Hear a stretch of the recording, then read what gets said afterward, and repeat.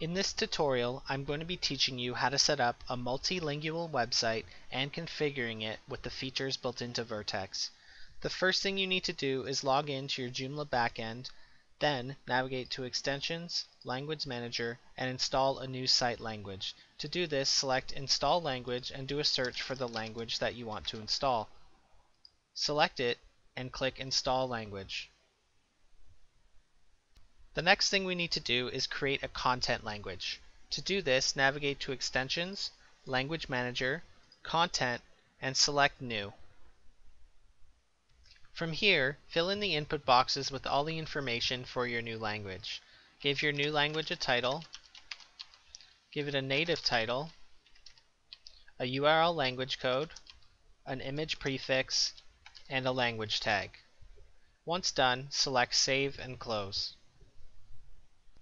The next thing we need to do is ensure that the language filter is enabled. Navigate to Extensions, Plugin Manager, and do a search for Language. You'll see that the System Language filter is disabled, so let's click on it, set it to Enabled, and adjust some basic options.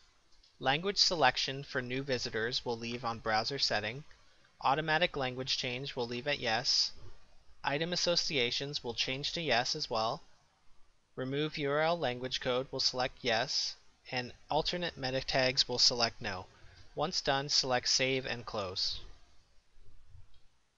The next thing we need to do is create a category for each language we are going to be publishing content to. To do this, navigate to Content, Category Manager, and select New. Fill in the title or the name of the language for your category and assign it a language which you selected earlier, then select Save and Close. Do the same thing for any other languages you're going to be using on the site.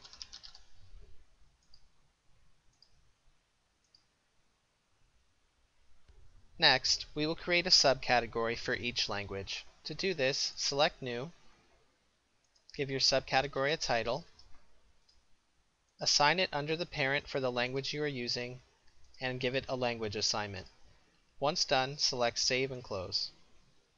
Do the same thing for the other language.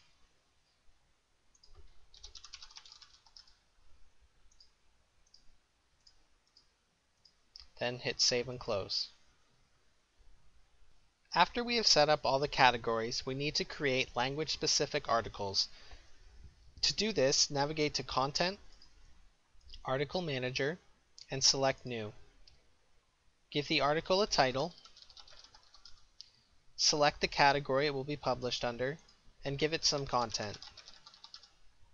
Assign it to a language, then select Save and Close. Do the same thing for the other language.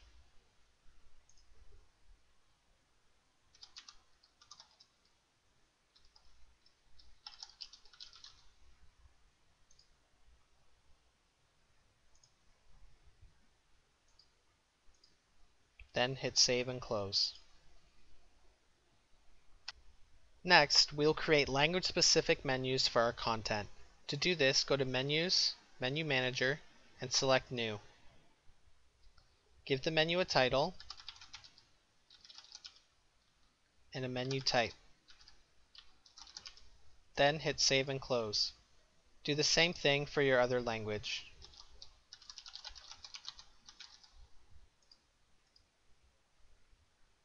The next thing we need to do is assign our language-specific categories to each language menu.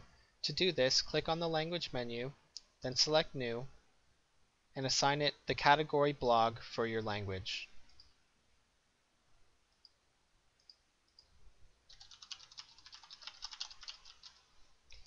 Assign a language to this menu item, then select Save and Close. Then do the same thing for your other language.